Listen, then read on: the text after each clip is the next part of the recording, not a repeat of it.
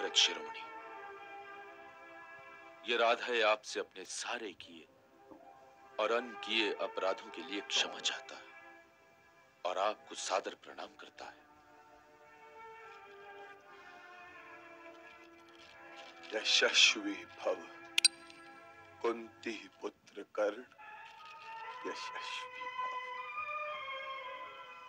ये तुम भी जानते हो पुत्र कि तुम कौन हो?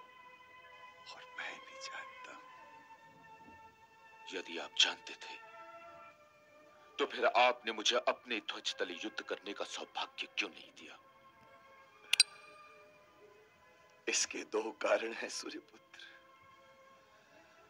पहला तो ये कि तुमने अपनी आँखों पर उपेक्षा की पट्टी बाँध रखी है। हे पुत्र, आँखों पर पट्टी बांधकर रणभूमि में किसी शूरवीर को नहीं उतरना चाहिए। दूसरा कारण ये कि इस महायुद्ध में इतने शूरवीर मारे जाएँगे कि भारतवर्ष में शूरवीरों का अकाल बढ़ जाएगा। यदि तुम युद्ध में भाग लोगे तो अर्जुन और तुम में से कोई एक ही बचेगा। और मैं ये चाहता था पुत्र, कि तुम दोनों ही बचे रहो।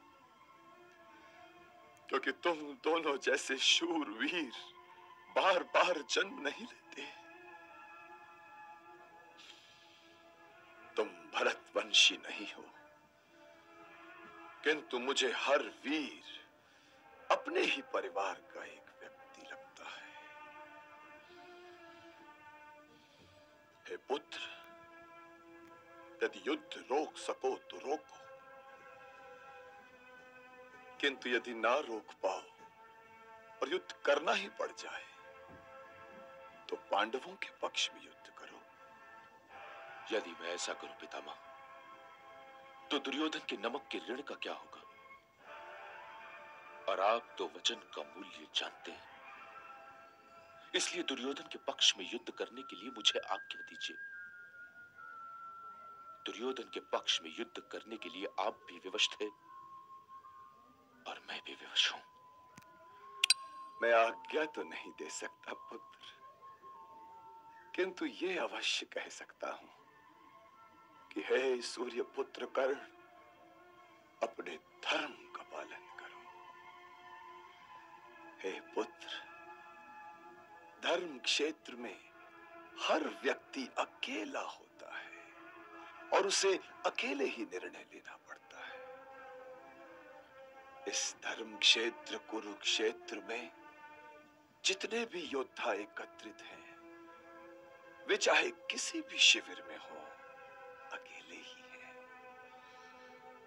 और अकेलेपन का अर्थ तुमसे अधिक कौन समझ सकता है, पुत्र? कौन समझ सकता है?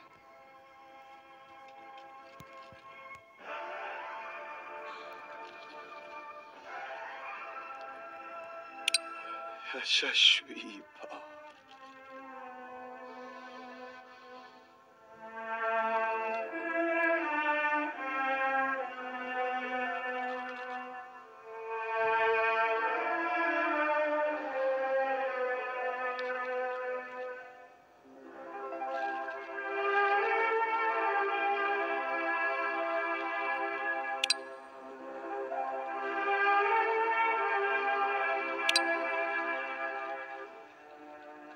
हे कुंती, कर्ण जैसे महावीर की माता होना भी बड़े गर्व की बात है। बधाई हो पुत्री, बधाई हो।